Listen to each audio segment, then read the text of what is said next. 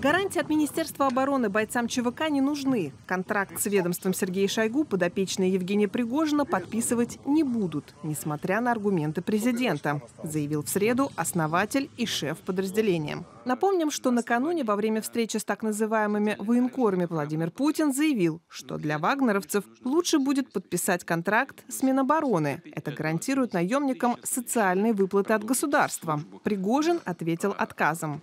У меня 20 тысяч убитых. Они тоже должны заключить контракт с Министерством обороны. Сегодня мы воюем, нам сказали заключить контракт с Министерством обороны. С кем завтра нам скажут заключать контракт? Поэтому я думаю, что решение будет найдено, а контракт мы в любом случае заключать не будем. Министерство обороны – это важный государственный орган, важная структура. Но если она приватизирована, группа частных лиц, то это не значит, что мы должны участвовать в этом преступлении. Немалую роль в противостоянии между Минобороны и наемниками, как считают эксперты, играет личный конфликт между Шойгу и Пригожиным. Он тянется еще со времен сирийской кампании, в которой также принимали участие бойцы ЧВК «Вагнер». Об этом сам Пригожин недавно рассказал в одном из интервью. Тем не менее, ценность этого конфликта не стоит переоценивать, отмечает политолог Константин Калачев. Абсолютно ясно, что все, что происходит, происходит с ведома и интересов Владимира Путина.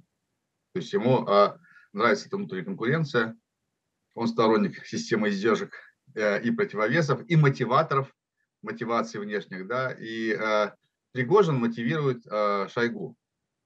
Э, в свою очередь, э, э, Путин который, наверное, не очень доволен действиями Министерства обороны в последние полтора года, э, видимо, э, рассчитывает, что Пригожин выступит в роли своего рода катализатора.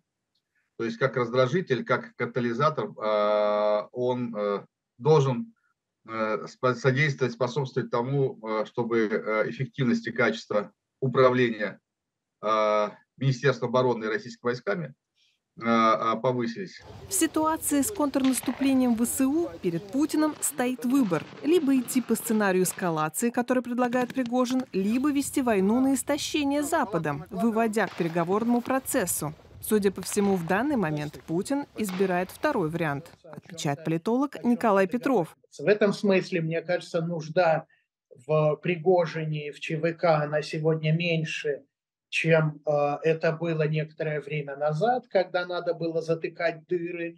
Но я думаю, что та ситуация, когда есть э, какая-то система квази сдержек и противовесов, и когда есть всегда какая-то страшилка, которая руководству Министерства обороны может грубо и жестко говорить то, что сам Путин так жестко сказать не может, хотя, надо полагать, во многом разделяет э, пафос э, Пригожина. Напомним, что 10 июня Шойгу приказал всем добровольческим формированиям подписать контракт с Минобороны. Первым документ подписал чеченский отряд «Ахмат». В соответствии с приказом, контракты должны быть подписаны до 1 июля.